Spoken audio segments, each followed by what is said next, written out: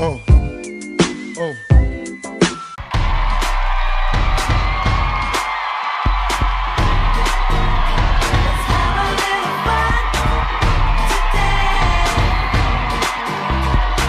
Here she is now, Ellen DeGeneres.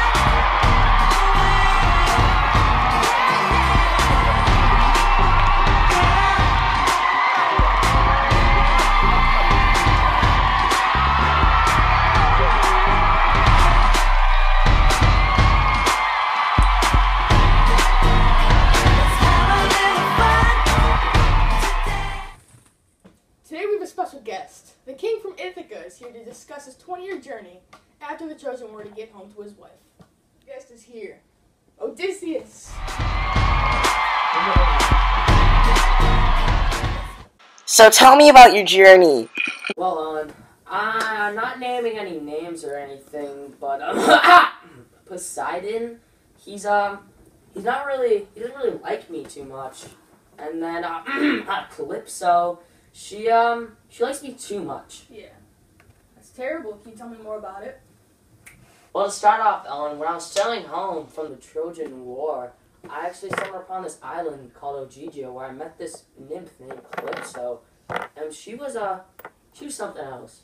She um, she was very pretty and all, but uh, I'm very loyal and stuff to my wife Penelope, but uh, but, Calypso tried to actually marry me, force me into marriage, and um, I just I could never, I couldn't do it. I'm stuck with Penelope, and that's just how it is. How'd you get away from Calypso? I had to deal with that nymph for who knows how long until finally Hermes came and had me freed. Well, thank Athena that she helped you.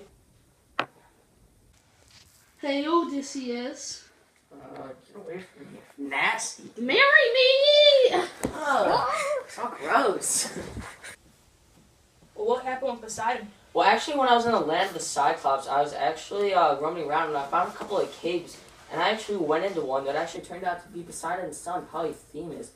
And uh, when Poseidon's son, Polyphemus, came in, he actually um he actually did not show hospitality, which is what I was thinking he was gonna do, and he was gonna give me a gift. But he actually ended up eating two of my crew members. How'd you get out of that? Well, actually, I came up with a very smart plan where I would actually get him drunk, and then I would tell him my name is Nobody. But after I told him my name is Nobody, I selected a couple of strong men to get this huge staff and heat it into a fire. And when I heated it in the fire, I actually took these men and we dragged it into his eye, which actually blinded him. And then when it when it hit his eye, he he abrupted with a roar and said, "Ah, my nobody's killing me." And which actually triggered the neighbors that were like, okay, nobody's killing him. So I actually got out of there when he actually opened up the cave for me, and we let him, we got we got out. Very clever.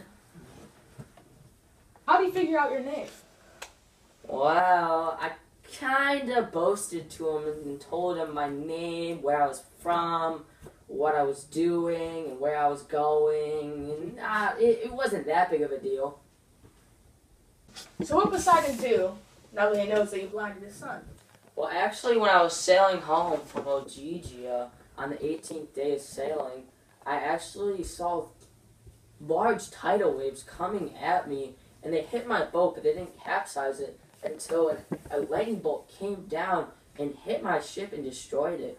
And when it destroyed it, I flew off, and I was in the water, and I was on some uh, scraps of my boat when a when a goddess came down by the name of Ino and gave me this immortal scarf. When I was in the water, Athena came down and gave me some words of wisdom to swim to shore. So obviously I had to listen to her and I swam to shore.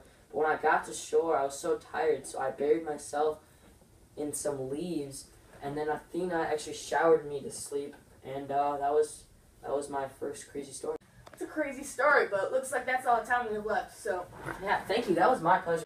Now to our commercial break. door. Hello. Hey guys, Gerald here, here to tell you about a new potion made by Hermes that will turn you back from a swine into a human being for only a cheap price of $19.99 plus shipping and handling.